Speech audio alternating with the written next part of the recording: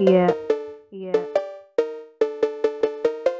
Улей трясется, а пчелы а размножаются. Раньше было две пчелы, а теперь их десять. Вот такие пироги с медом.